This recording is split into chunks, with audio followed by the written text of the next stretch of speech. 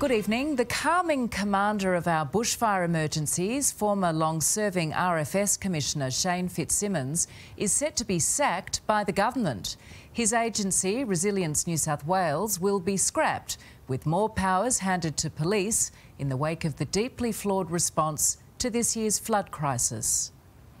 Shane Fitzsimmons, a bushfire hero who guided us through one of the worst disasters we've seen to do nothing is not an option. But the state's Australian of the Year is on the cusp of being sacked. The Premier preparing to make him redundant and dismantle his agency, Resilience New South Wales, after a series of failures during the Lismore floods. If there are better ways of managing emergencies, responding to emergencies in this country, well, then um, that should occur.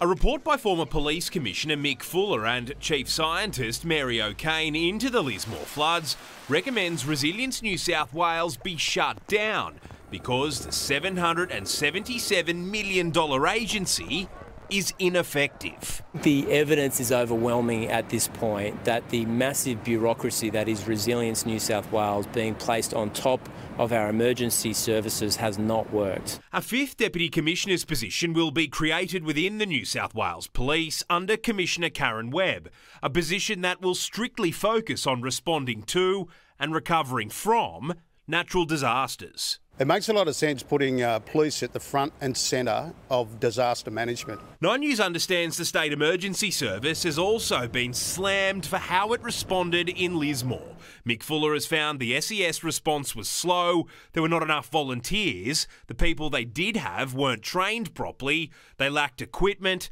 and morale was low. It's not about uh, pitting one agency against the other.